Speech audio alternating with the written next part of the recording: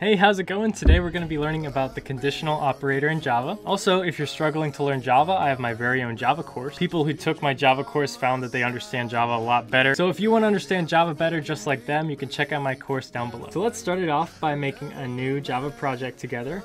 We'll just call this the conditional operator. Hit finish. We'll create a new class in the source folder. Call it like conditional hit the main method, and finish. The conditional operator looks like this. This is gonna look kind of weird, but don't worry, I'll explain everything here in a second.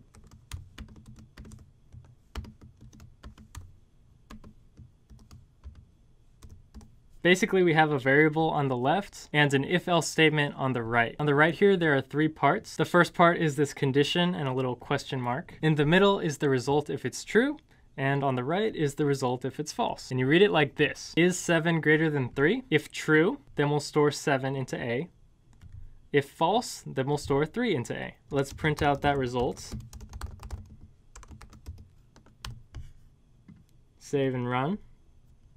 And we see the result is 7. This is the same as if 7 is greater than 3, then A equals 7 Otherwise, a equals 3. These are the exact same statements. So if I just took that away and ran this, we'd see that a is 7. So the conditional operator is just three parts, the condition, the result if it's true, and then the result if it's false. So let's do another example. Let's say we have maybe a string a that's equal to hello.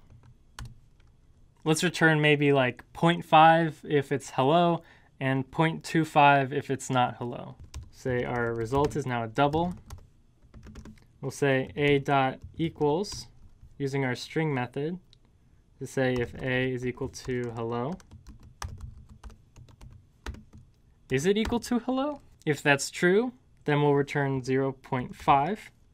But if it's false, then we'll return 0.25 for this little quirky example. We'll print that result out this time save and run, and we see 0.5. If this was something else, like howdy, we'd get 0.25. These values right here have to match this type on the left because this is the result that gets put into the variable on the left, so it has to match.